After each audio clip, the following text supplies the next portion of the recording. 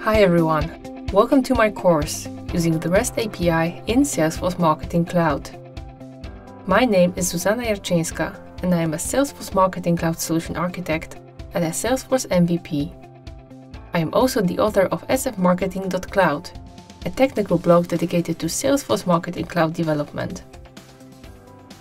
Salesforce Marketing Cloud is the number one marketing automation software for consumer engagement at scale, and it offers a robust set of APIs that developers can use to connect external systems and applications to Marketing Cloud.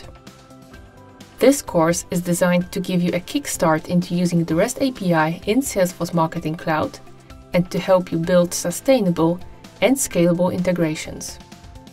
Some of the major topics that we will cover include understanding the use cases for REST API in Salesforce Marketing Cloud, creating and configuring installed packages, authenticating through OAuth, creating and testing REST API requests in Postman, and understanding REST API status and error codes.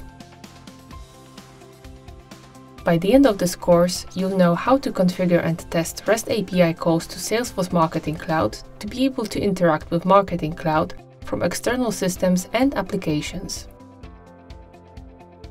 Before beginning the course, you should be familiar with working in Salesforce Marketing Cloud's Email Studio and have a basic understanding of web development and coding concepts. I hope you'll join me on this journey to learn about the opportunities and possibilities that APIs offer with using the REST API in Salesforce Marketing Cloud course at Pluralsight.